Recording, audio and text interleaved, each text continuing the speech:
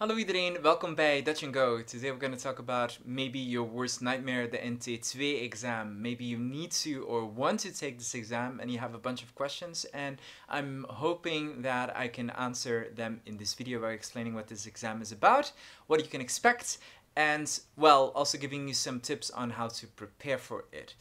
Uh, so first of all, a little bit about the exam in general. So as you may have already uh, seen on the website, if not, check out the website below in the comment box.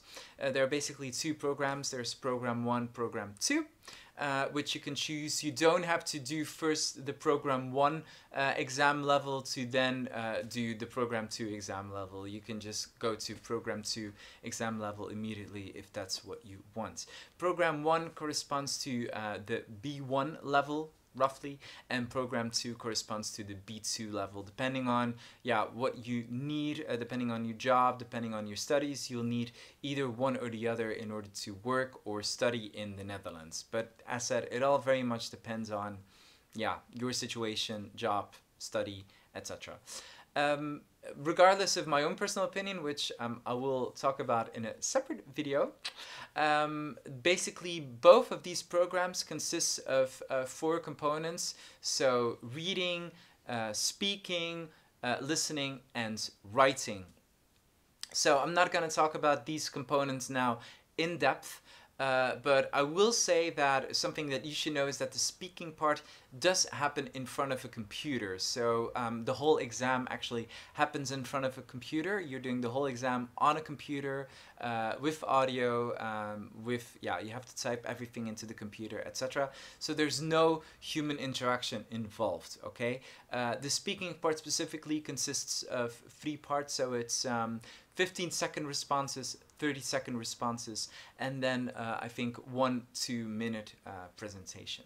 Okay, so that is roughly how this exam is structured, and that is the same for both program one and program two.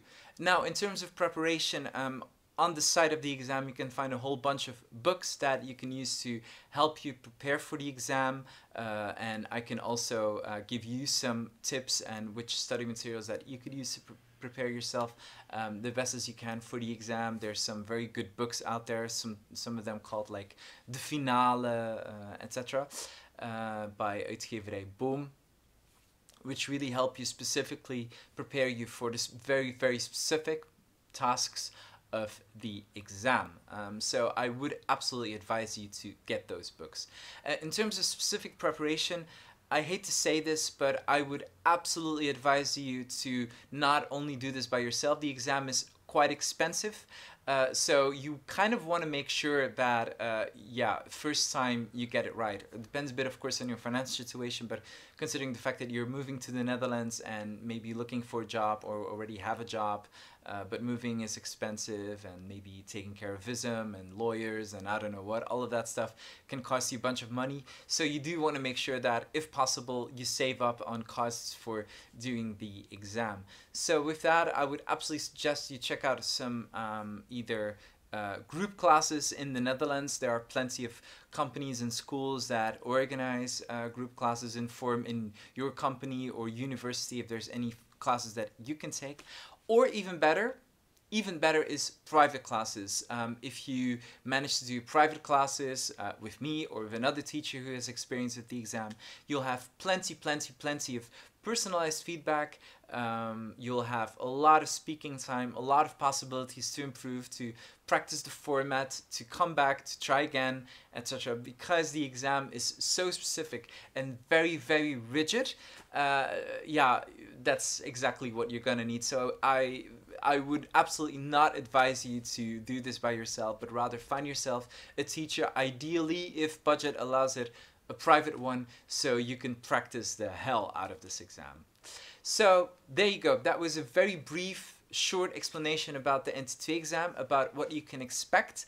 I'll be doing a more in-depth video about the different components uh, of the exam, on how to uh, prepare for them, what you can expect, etc. For both programs, that will be a whole series that I'll be releasing over the next couple of months. Uh, however, for now, this is a broad general introduction. Uh, check out my other video in which I'll be doing a small rant on the NT2 exam and why I don't necessarily like it, or well, two reasons basically why I don't like it and my problems with it. So check that out as well. Um, in case that you're interested in that. Um, I wish you, for now, all the best of luck. Leave me a comment if you have any specific questions about what I've said or about the exam. Uh, if you need any help with something specific, let me know. Uh, dank jullie wel voor het kijken. Subscribe, geef een like, klik op de bel. Tot de volgende keer. Dag!